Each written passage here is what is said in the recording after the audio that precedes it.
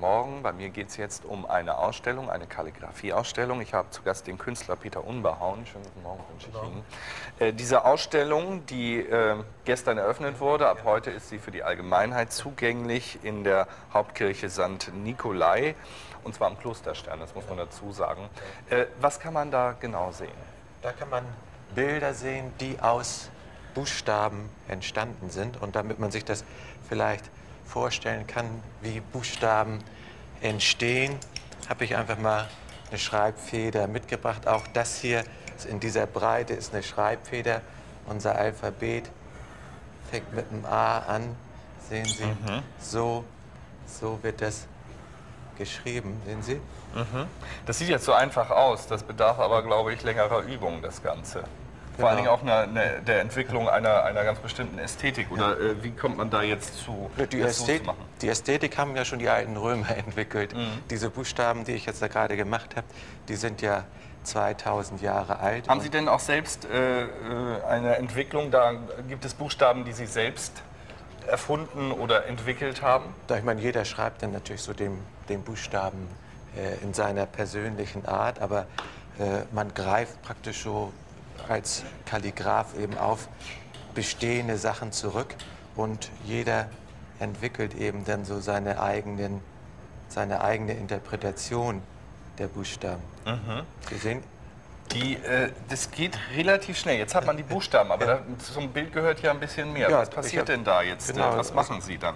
Genau, also ich, ich nehme häufig natürlich Texte, aber in dem Moment, wo ich jetzt, äh, sagen wir mal, von einem Buchstaben in den anderen schreibe, äh, beginnt das Ganze natürlich schon so, sehen Sie, so ein mhm. bisschen, bisschen zu leben. Wenn ich da jetzt noch zusätzlich mit, mit Gelb durchgehe, sehen Sie, dann ent entwickeln sich so schon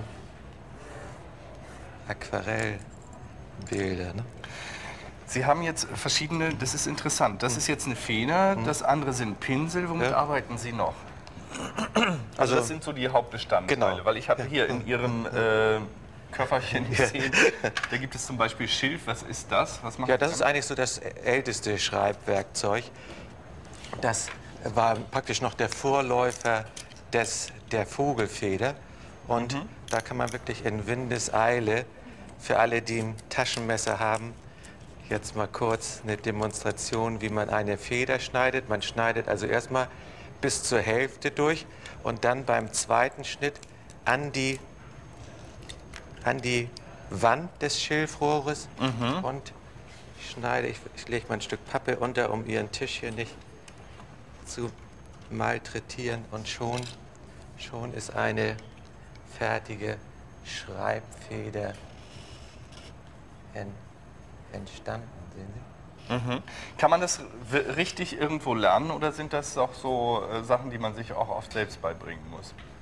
Ja, viel, viel muss man natürlich sich selbst beibringen, wer Interesse hat. Also ich gebe auch Kurse, neben den Ausstellungen mache ich auch äh, Kalligrafiekurse, wo man dann auch lernt, wie man eine Feder zuschneidet. Aber Sie haben gesehen, es geht verhältnismäßig, verhältnismäßig schnell. Ähm, was kann man auf Ihren Bildern sehen? Also hier habe ich jetzt nur ein paar Buchstaben genommen. Ich nehme Texte, die mich, die mich ansprechen. Mhm. Und ich habe zum Beispiel da in der Ausstellung in der Nikolaikirche habe ich jetzt viele Texte genommen von Matthias Claudius mhm. und habe die dann so kalligrafisch umgesetzt. Diese Ausstellung, wie gesagt, die beginnt heute. Wie lange kann man die sehen und von wann bis wann täglich? Die, die Kirche ist äh, den ganzen Tag geöffnet mhm. und die Ausstellung geht noch bis zum 8. Juli. Und, also äh, kann man bis dahin täglich ja. kommen. Gut. Ja. Dann danke ich Ihnen, dass Sie heute Morgen bei uns waren. Vielen. Dank, das Hamburg 1 Frühcafé.